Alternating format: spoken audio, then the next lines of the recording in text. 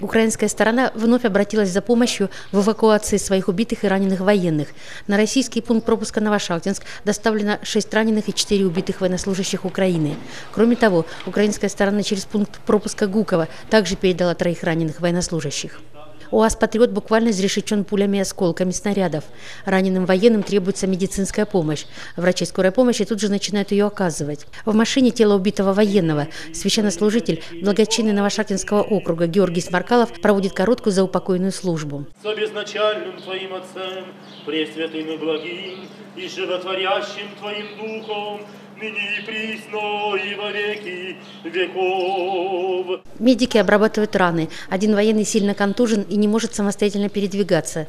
Раненым предстоит лечение в госпитале, но в своем, украинском. Поэтому через территорию Ростовской области они будут переправлены на Украину. Передача раненых и убитых украинской стороне запланирована в российском пункте пропуска Матвеев-Курган. 27 июля в 3 часа ночи российские пограничники в пункте пропуска Матвеев-Курган передали украинской стороне 9 раненых и 4 погибших украинских военнослужащих.